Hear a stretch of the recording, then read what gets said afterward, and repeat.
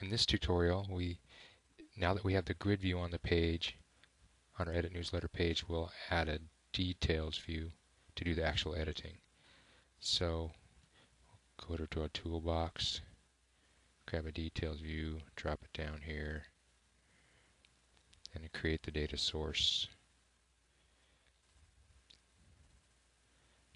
Point it to our database.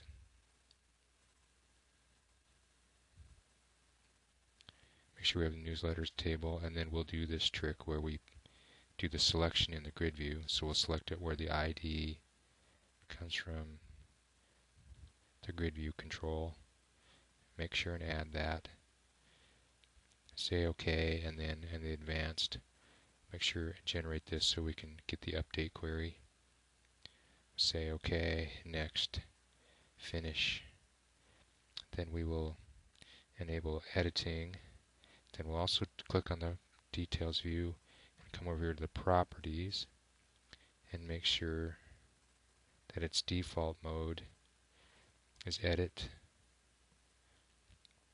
And then we'll go to the fields and on the content field we'll convert that to a template.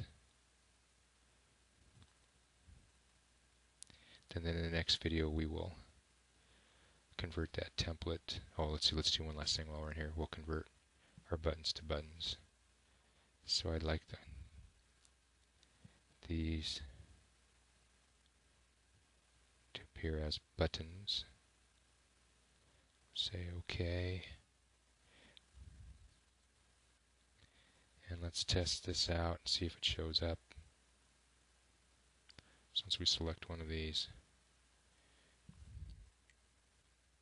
then our details. View shows up down here